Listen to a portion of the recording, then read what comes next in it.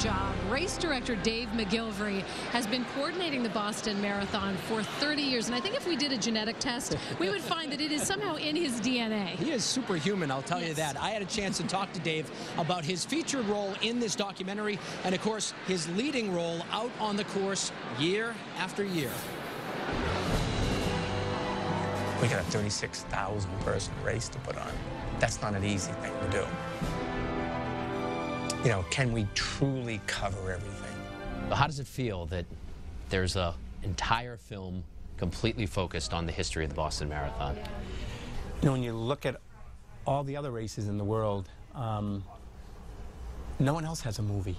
Race director for 30 years, Boston marathoner for 44 years and counting.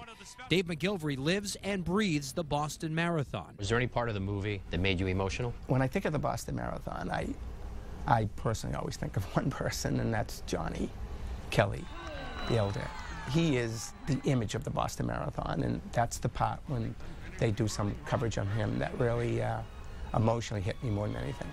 Because he's a friend and a legend. He's a friend, he's a legend. Johnny Kelley is one of the many marathon legends highlighted in the movie. They took the most iconic aspects of the, uh, of the history of the marathon and and they truly made a, a, very special documentary on it. That long history now includes the 2013 bombings on Boylston Street. One of our dilemmas was, will people want to come back? There's no room for error, so we feel confident. We turn evil into good. And 2014 was epic, with Meb winning, with the names of the victims on his bib number. What was it like to be part of the filming? Surreal a little bit.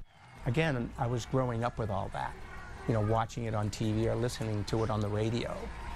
And I said, I, I want to be part of that. There's no question that Dave McGillivray is now part of what makes this race run year after year. I'm a caretaker. It was here way before I was around. I'm just taking care of it for a little while. And it'll be here way beyond my time.